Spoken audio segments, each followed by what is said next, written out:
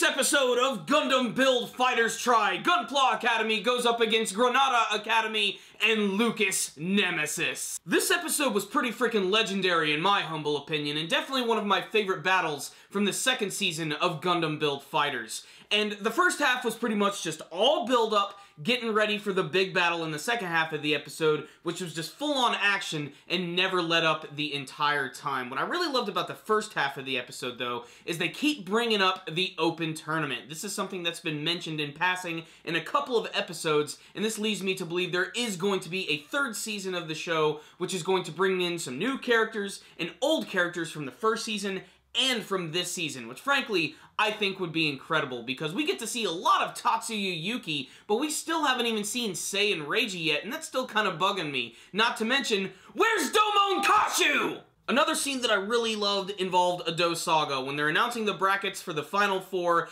everybody starts sizing each other up, and it just goes on and on and on, and then Ado Saga finally walks out and he's like, look, the strong survive, the weak lose. Simple as that. Freaking Thunderdome. Six man enter, three man leave. The battle this week is definitely the highlight of this week's episode and definitely one of my favorite battles of the entire series. My favorite thing about the battle this week, though, is that one team didn't just completely dominate over the other. They were trading blows left and right, and you didn't really even know who was going to win until the post-credit scene of this week's episode. So let's talk about that Crossbone Gundam X1 Full Cloth. This thing is sleek. This thing is sexy, and at first it almost seems like it's a straight build of the actual model itself, but it does have some interesting modifications. One that shows itself later in the episode when it actually launches its core fighter. But before we get to that, let's talk about that crossbow. That thing is freaking awesome. Not only does it look cool, but it has this really great ability. When he's fighting Ado Saga at the very beginning of the episode, he's firing his fangs all over the place, and then he fires this one shot, which actually locks onto every single fang, and then this beam just splits out and fires into multiple directions, destroying all of the fangs. But that's not the only ability he has, because at this point of the episode, Ado Saga just gets pissed off. He rips off the cloak, you see both of the hands come out, and that's when he finally starts to go at him full force. And it's at this point that I really fell in love with the character of Ado Saga. He's so incredibly awesome. And this is like the first battle that we've really seen him in that he can go completely full on out and just go crazy. And this leads to probably the next part of the episode that I thought was really clever, where it almost looks like Lucas Nemesis is going to be defeated. He's running away from Gunpla Academy, he's dodging all of these big freaking giant beam blasts from the Transient Gundam, which has this big lance, which just looks, oh, so good. This is mecha porn. Lucas Nemesis actually used that attack to his advantage because it left a huge hole in the meteor, and he fires this core fighter through it, and it ends up going right into the G-Portent, which luckily puts up its shields at the last second, but it busts through and even fires these little, like, beam blades right at it. It's really impressive. How about the one move where the Crossbone Gundam was actually blocking both the Transient Gundam and Gundam the End at the same time? It blocked the, uh, the big Transient Gundam with its hand, and then as soon as Gundam the End was getting ready to attack it, this blade came out from under its foot, and he ended up stabbing Ado Saga right in the stomach. At the very end of the episode, the Gunpla Academy figures out how Lucas Nemesis is powering up his Gundam, and that's because his teammates are supplying him, so they decide to take them out with extreme prejudice. I especially love that the Gundam The End's chest actually transforms into a massive face very similar to something from Gurren Lagann and ends up biting off the freaking head of the Gyaradoga. Not to be outdone, the G-Portent snipes the other Gyaradoga right through the head all the way down into the ground with a nice big explosion, ending it with the Transient Gundam fighting against the Crossbone Gundam. And what I love most about this is that the Crossbone Gundam probably has one of the coolest beam sabers I've ever seen from Mobile Suit Gundam. It splits off into multiple directions. It almost looks like a massive saw. And at the very end of the episode, both of them charge into each other. There's a massive explosion, and if you stick around at the post-credit scene, you'll get to see that it almost seems like Lucas Nemesis has actually won. The Transient Gundam is there, it's sitting on its knee, and the Crossbone Gundam is standing all in its glory, but then Lucas realizes that he actually lost as the Crossbone Gundam crumbles to the ground. So what's the rundown on this week's episode of Gundam Build Fighters Try? This was just a good action episode of the series. It didn't disappoint, really.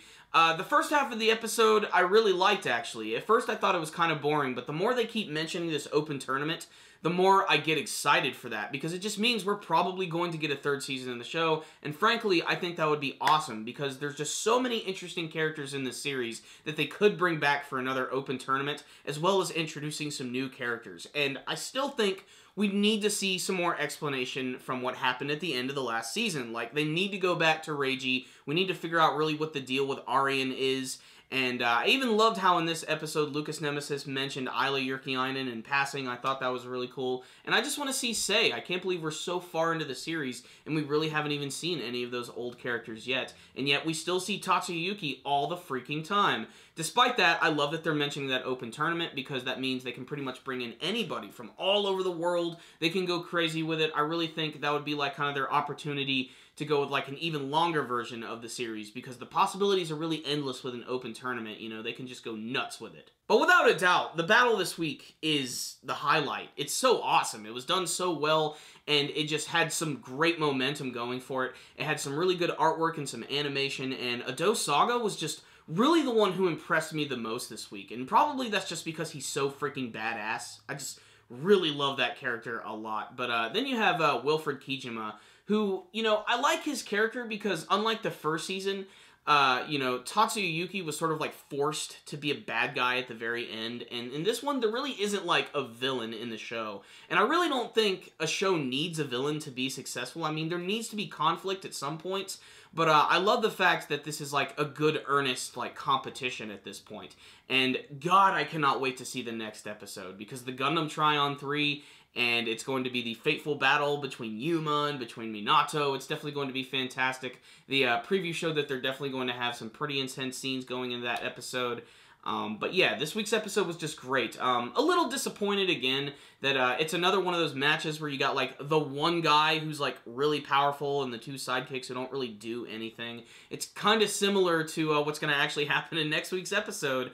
And uh, they're actually trying to do something a little more important with that story, I think. There's a, a, little bit of subtlety to that one scene where Minato is working on the Gundam Tryon 3 and he's mentioning that he's going to make them the best team in Japan. And the team doesn't actually look all that happy about that. They almost seem a little conflicted. Like, it almost seems as if Minato is just here for his rivalry with Yuma. He doesn't really care about the team. He's basically sort of like trying to just use them as his vehicle to actually battle against Yuma. And if that's actually what's going on, that's going to add another layer of shit to Minato. But I still think he's a pretty interesting character, and I'm still in love with the Gundam Tryon 3, which I still think is my favorite Gunpla from the series thus far. However, this week's episode was really great. The Gundam the End I thought was really cool. There was a lot of great scenes with that. The Gundam Crossbone X1 Full Cloth did not disappoint in all of its cool abilities and all the cool techniques that it used.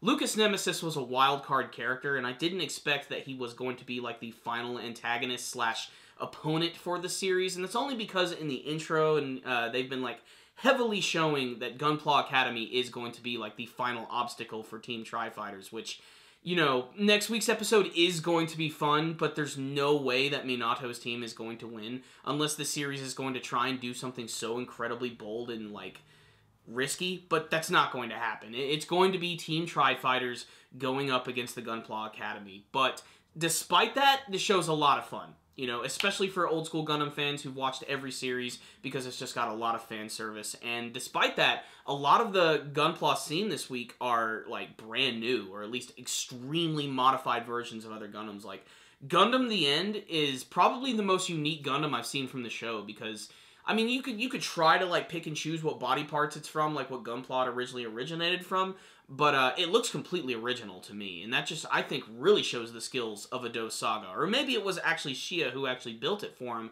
under his specifications. But I love everything about that mobile suit, the cloth, the freaking gun, which even the crossbone Gundam actually stole his gun in this week's episode. That was a really crazy scene. I loved how he was fighting both of them at once. That was really great. So this was just an amazingly high quality episode of Gundam Build Fighters. It's nothing groundbreaking in any sense, but it's just damned fun. And it's awesome. And if you love mecha anime and you're a big fan of freaking Gundam, you gotta check out this show. I can't recommend it enough. It's just great. I look forward to it every week, and it's really sad to know that in a couple of weeks it is going to be gone. But hopefully, mentioning this open tournament thing, we're going to get a third season. I would definitely endorse it. I think it would be awesome. So, I like this episode. I liked it a lot. I have really no complaints with it, so I'm going to give it a 5 out of 5. Check it out, guys. Really good episode. Thank you guys for watching my review. If you liked this video, please give it a thumbs up. And before you guys leave, please tell me what you thought about this week's episode of Gundam Build Fighters Try in the comments section below. What did you think of the battle between Lucas Nemesis and the Gunpla Academy? Did you have a favorite scene from this week's episode? How do you predict this season is going to end? And if there was a third season, what would you want to see? Remember guys, if you have not subscribed to our channel, make sure and do that by clicking on our channel icon right up cha. You can also follow us on Facebook and on Twitter, and you should also check out our brand new podcast series, The Powerful Nerdcast. I'll put a link for that in the very end of the video and in the description box below. Thank you guys for watching. Super Kami Guru 9000. Out.